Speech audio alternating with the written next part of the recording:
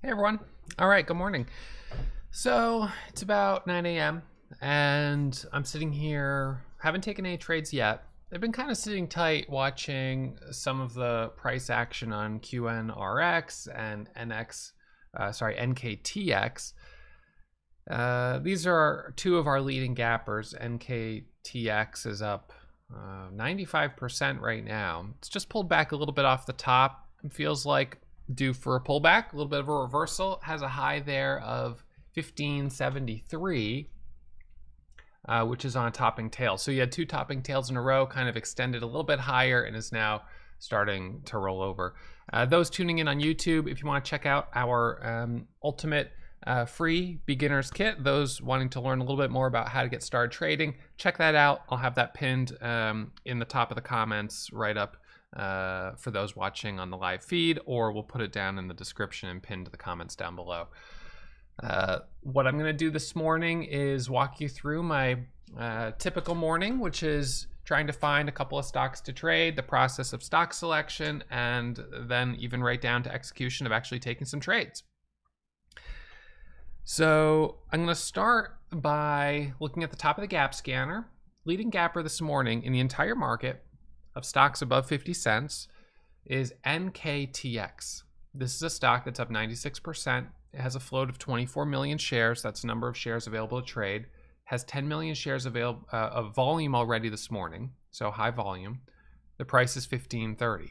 You've uh, see you can see here on this chart how it's gone all all the way from like 12 at the volume weight average price all the way up to a high of 1573 and is now starting to pull back a little bit it's been grinding a little bit, kind of dipping down, popping up, dipping down, popping up, some topping tails, a little tricky, not super clean action, although it's continued higher for the way I trade, which is specifically for breakout trading. It's not been super, super clean. So I haven't taken any trades on it. I'm usually not inclined for my first trade to be a dip. Uh, I will sometimes do it, but usually I'd prefer my first trade to be a breakout trade. And I haven't seen a breakout on this one that I'd really feel comfortable with. So right now it's on the list, but I haven't taken any trades on it yet. So I'm actually going to move it to this monitor over here and put it on uh, what I would call my side chart. That way I can uh, have it as something I'll watch as we get further uh, closer to the, the opening bell. So I'm going to leave that over on the side. Okay, so the next leading gap is QNRX. So QNRX, this one initially pops up to 189, drops down to 140, pops back up. This was almost the same price action we saw last week on a one one of very similar price. Uh, a little choppy. Uh, there is some news on it. Uh, FDA clearance. So, you know, okay, sometimes that can be a big deal, but the price action right now being below the high from back here, it just doesn't look quite right for me for right now. So I think my opinion on it for the time being is it needs to prove itself. So it needs to get up a little bit higher and maybe we'll get there, but uh, as it sits right now, I don't think I'm in love with it. So next one is ERYP. ERYP is a 31 million share float. This one, uh, it, the chart's not really that interesting. It's pulled back. SBFM just hit my high day Momo scanner. The problem with this one is that it's below its 200 moving average, that purple line. That's almost always resistance on the daily chart. So I think that's going to be a problem. Now, you know, it's still got 60 cents to go, but as it approaches that level, I think it's going to uh, really run into some resistance. So I'm going to leave that one alone. And hey, reminder for those getting tuned in, in case you didn't already know, trading is risky. I'll put up my disclaimer here. My results are not typical. We don't track the typical results of traders who are using our software, so we're not going to make any guarantee that you have any higher likelihood of success than the average trader out there. So take it very slow and practice this simulator before you put real money on the line. So SBFM moving a little higher, but that daily chart I'm not in love with. The headline here is uh, files patent application announced uh, mRNA molecules found to be effective at destroying multi-drug resistant cancer cells. I mean, it sounds interesting, but Uh, let's just see if it can get through that 200 moving average because I think that's going to be a problem. So again, I could put that one on a side chart, SBFM, and if it has the strength to get through the 200, fair enough. Okay, we can look at it, but it's going to need to get through that level. All right, and then let's see. SBFM, yep, so that's that. REVB.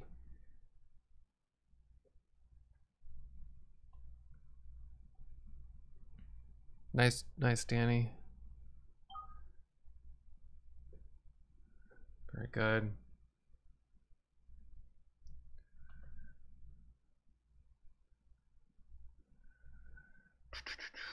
Um, NKTX, yeah, there's no, it is uh, easy to borrow, which means it's free to borrow. You don't have to pay to reserve your shares.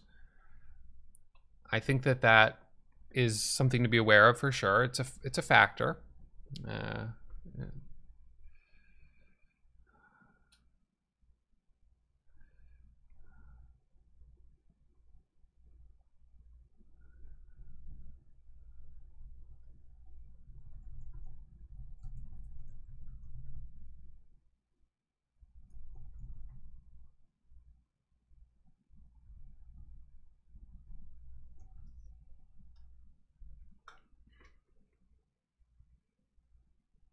SBFM.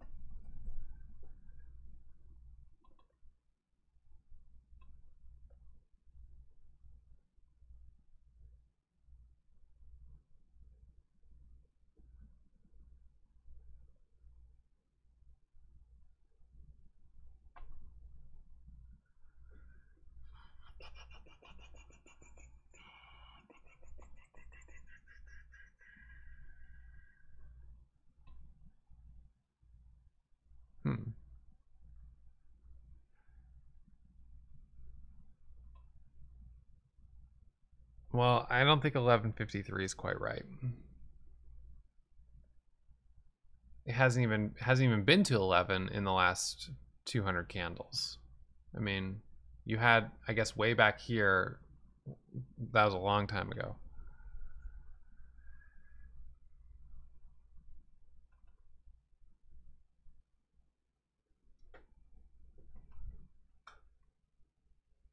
I don't think that's right. It doesn't that doesn't average correctly. That doesn't make sense.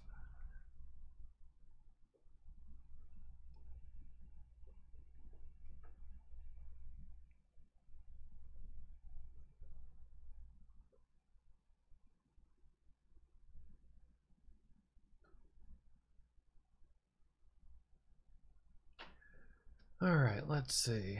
So it's about 9.08. We've got 22 minutes to the opening bell. And at the moment, I'm just sitting tight. No trades yet. Market sentiment this morning. Well, we do have a gap. We're up 90%. That's pretty strong. The overall market, the S&P 500, we know that we had a pullback on Friday, uh, a pretty sharp pullback. We broke back below the 200 moving average right? So that was two pretty nasty days in a row. Strong sell off. Uh, and, and we are gapping a little bit further down. So this might just be a little bit of hesitation before we roll further.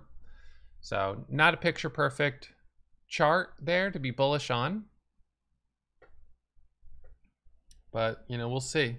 We'll see what we end up getting.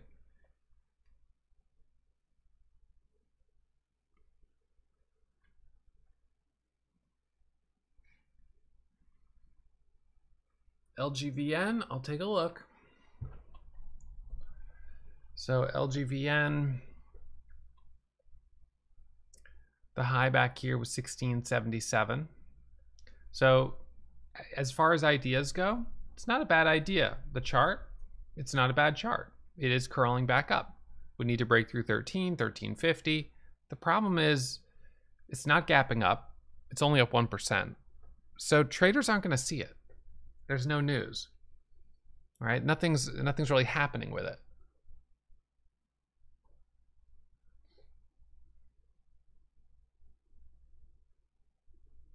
So, you know, sometimes these ones can just be a nice idea.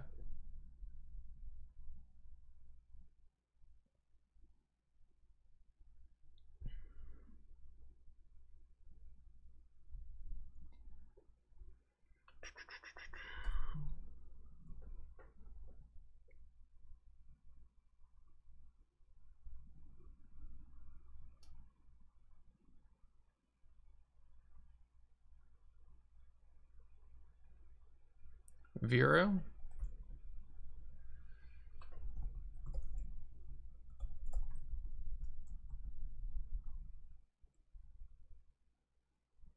Let's see. Yeah, there is some news. Um, chart's coming up a little bit. Let's see. It's only up, it's not even up 1% though, you know, so it's just not up enough.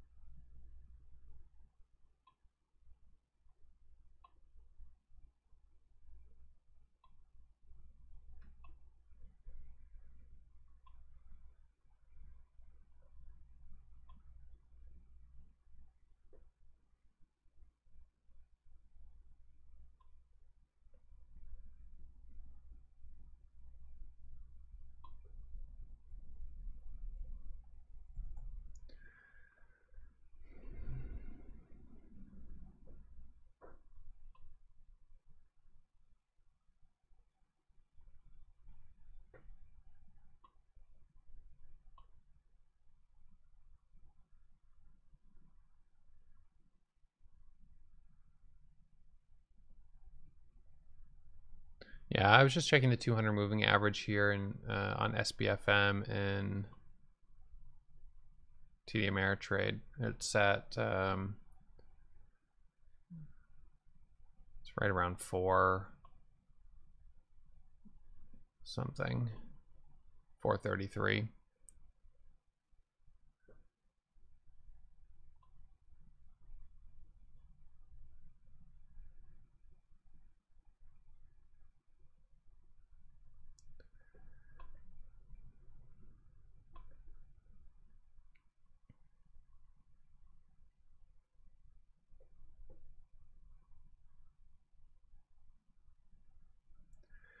All right, so let's see. Um, well, it's about 9.13 right now, so as I sit here this morning, back to NKTX, let's see where that chart's setting up.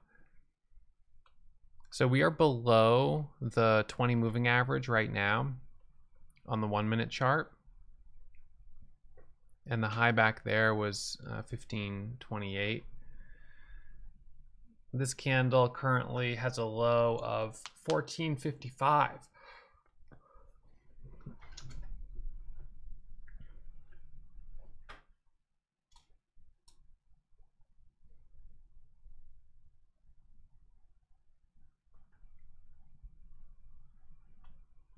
So, you know, this is a bull flag. Uh, you're tapping the nine moving average, you're pulling back, but I don't know if it's going to do an ABCD pattern or actually uh, make a cleaner move. TBLT on the scans. So TBLT, this one appears to be a reverse split. You can see that's why it's kind of coming up like this. So this is sort of like um, a DFFN type of stock these ones sometimes can move quickly. Your high back up there was 4167. So hitting the scanner there as it pops up on that candle. High was uh, 2295, but the spreads are pretty big.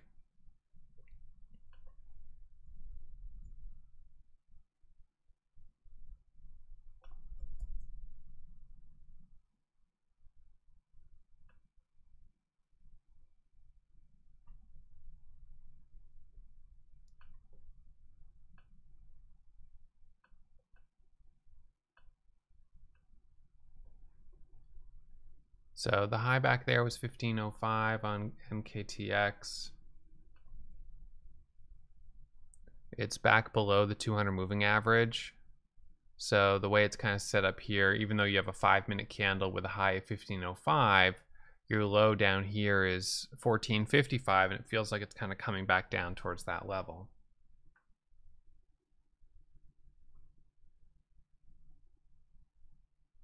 Thank you, folks who are uh, tuned in for the morning show. Always appreciate it and hope you hit the thumbs up. And reminder, as always, in case you didn't already know, trading is risky. Most beginner traders lose money, and my results are not typical, so I encourage you to take it slow and make sure you're not trading with money you can't afford to lose. It's always good to practice this simulator before you put real money on the line.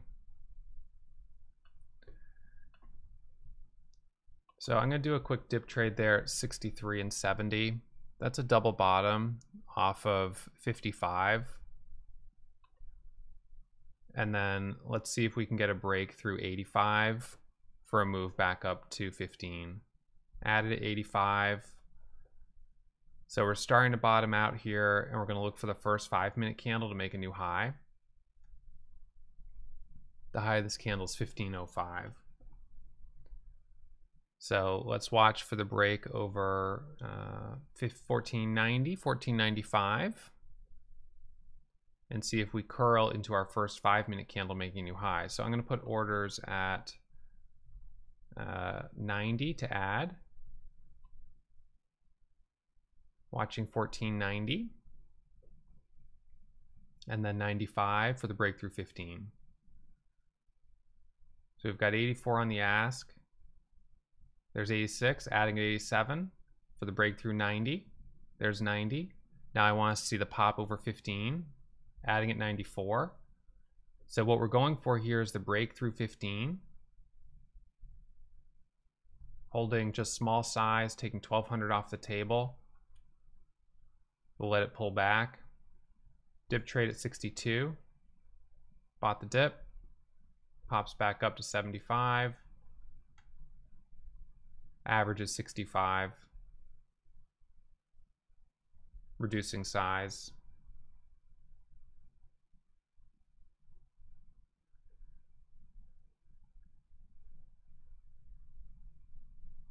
Watching again for another dip.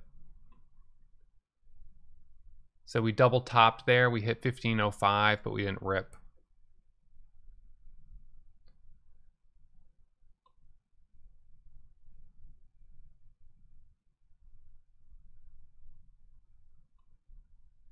Added back at 67 to buy the dip.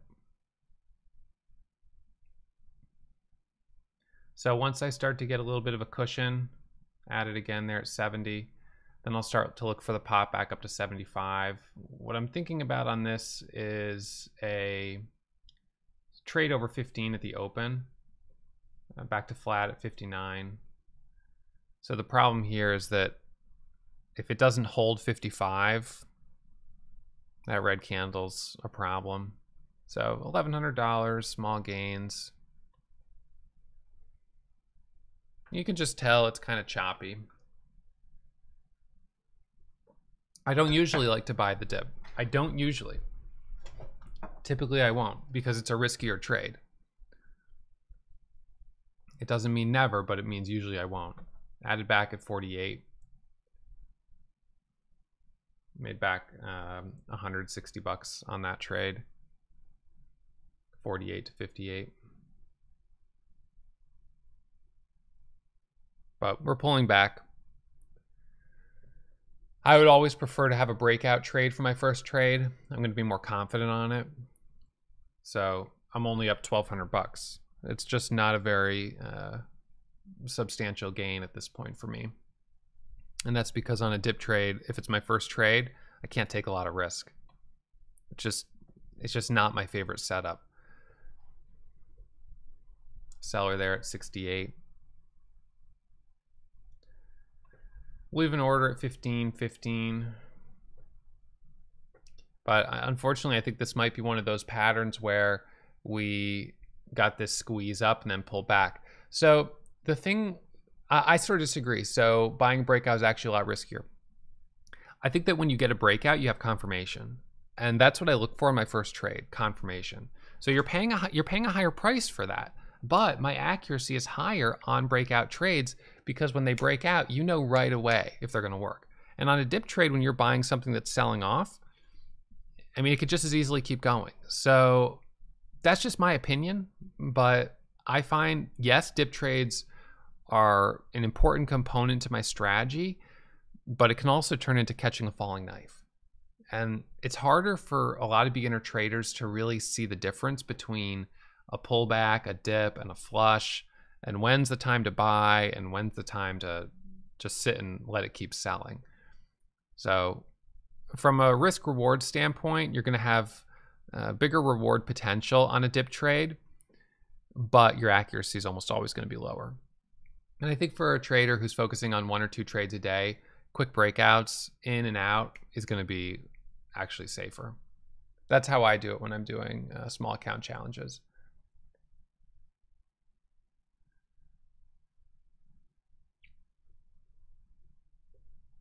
So my um, my TED talk, my, my talk with Ted, my unofficial TED talk, uh, I can give you a link to that uh, for those that missed it from last week. Let's see.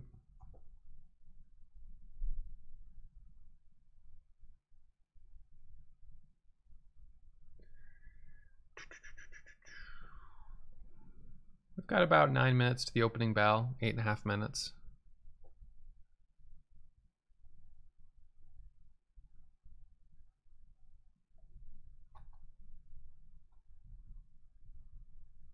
All right. So here's the link.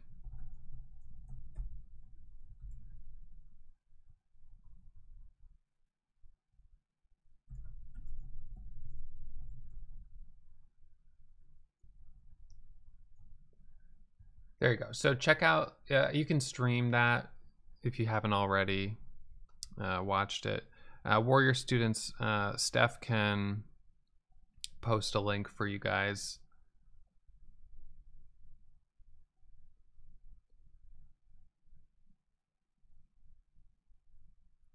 Uh, oh, actually, we're going to email you guys uh, the link later today. Oh, well, there you go. You can see it there.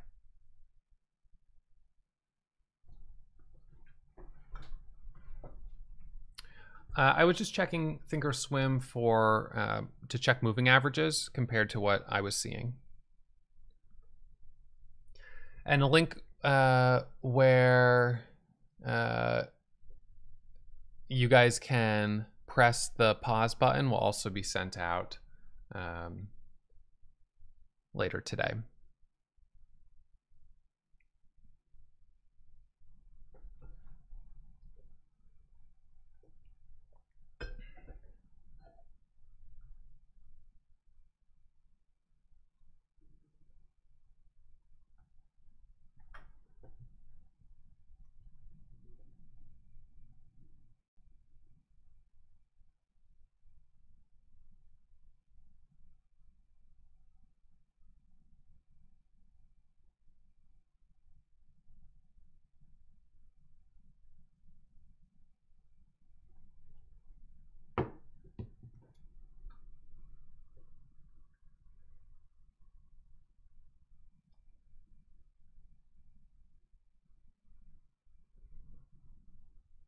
Okay, six minutes to the opening bell.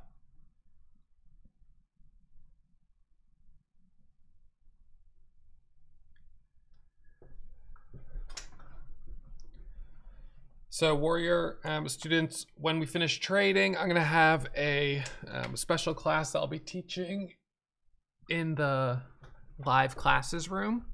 And so we'll see how long I trade today. If it's a shorter day, then I'll go over there earlier. If it's a longer morning, we've got a lot of opportunities, then we'll, I'll, you know, I'll go over there later. So we'll see how, um, we'll see how things go. And you can check the, um, the calendar. We've got um, coming up at 12 p.m. Eastern, Mindful Monday with Ted. And remember, uh, every morning, 8.30 to 8 a.m., morning meditation, guided by Ted and Diane. This week Jess is out, so we won't have the 11 a.m. Q&A sessions, but those will be back next week. We do have uh, Danny 3 p.m. on Wednesday. We've got Mike 4 p.m.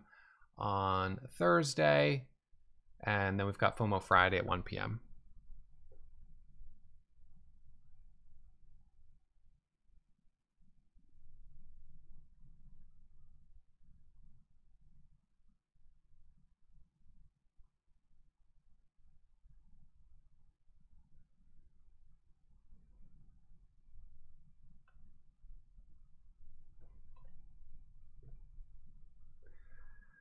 Okay, so four minutes to the opening bell. This is continuing to pull back a bit. So I don't think that um, I, I don't know. This might just be one that kind of kind of went straight up and then coming right back down and doesn't give us a lot of first pullback on the on the five minute chart opportunities. And if that's the case, there's nothing we can do about it. So we'll look for the next opportunity. Maybe something else will start to pop up. And if we see something, I'll be jumping on it quickly.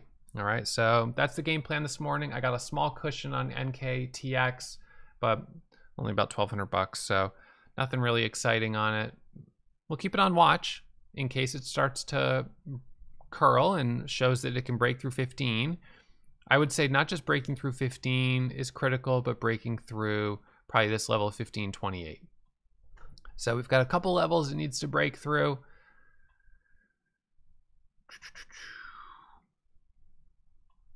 Might draw a little descending resistance line, kind of like this.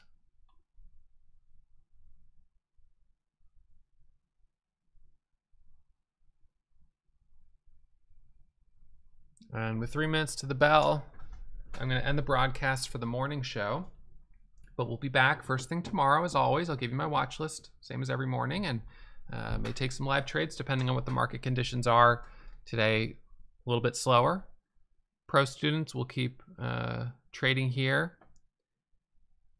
And we'll see if we find a little surprise momentum going into uh, 9.30 to 10 a.m.